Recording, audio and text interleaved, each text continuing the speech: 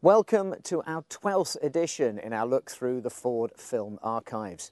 Now we know you're going to enjoy this latest offering because we have a huge amount of tractors and machinery on show, including the massive and very popular FW range. How big is a farm?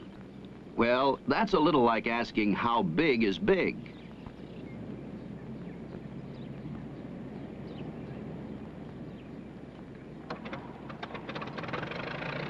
There was a time when 40 acres was a lot of land for a man and his family to handle. That was in the days of subsistence farming.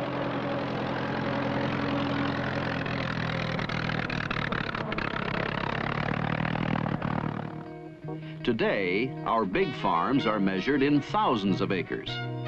The part that hasn't changed is the need to handle the land with as few people as possible to do the job as economically and as quickly as possible. To meet such demanding goals, Ford Tractor and Implement Operations presents a new state of the art. A line of super big four-wheel drive tractors designed to do more work in less time than most two-wheel drive tractors. Now, Ford country is bigger than ever. Big Cummins V8 diesel engines power every tractor in your new line. This is the 210 maximum SAE horsepower model in the new FW20. If you need more horses, there are three larger tractors for your selection. You'll see them all soon.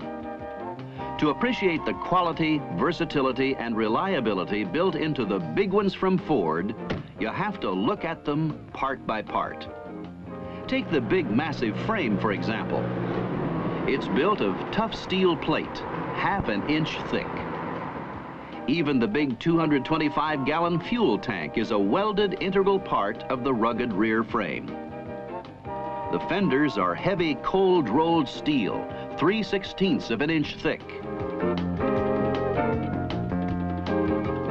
Look at this roller-type drawbar. It's gigantic built to pull big, deep tillage implements. To use heavily built equipment like this, you need power and plenty of it.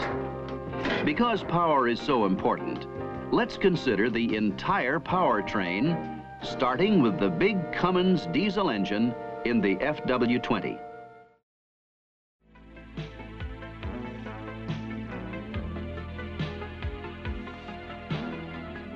Manufacturers today face the challenge of an ever more rapidly changing world. Economic situations have been unstable throughout the world since the first oil crisis. Supply and demand fluctuate quickly and dangerously. The farming community has not been left untouched, and recent economic developments have made it necessary to look for machinery that can handle large jobs in the most economical way. Sperry New Holland has responded quickly to those needs. As one of the largest manufacturers of combines in the world, we had the know-how, the resources, and the people to bring to the market a new combine that responded to just those needs. The 8055. Based on the proven technology of the 8000 series, the 8055 is situated between the existing 8050 and 8060 combines. In high horsepower tractors, Ford has an all-new lineup built for the needs of farmers who require over 100 horsepower, plus the versatility and handling of a two-wheel drive tractor. The TW10 TW20 and TW30 tractors from Ford can get the big jobs done and turn a lot of heads in the process. Underneath their distinctive styling lie a host of Ford tough engineering features like a hefty chassis built for rugged action, standard power steering, high horsepower final drive systems, and fuel capacity up to 100 gallons on the TW30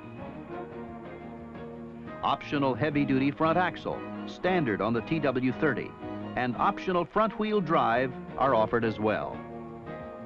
But that's only the beginning. The bottom line in any tractor is power, and the new TW Series tractors have it. Tractors designed for people who have work to do. For big acreage, these new high-power tractors from Ford are ideal.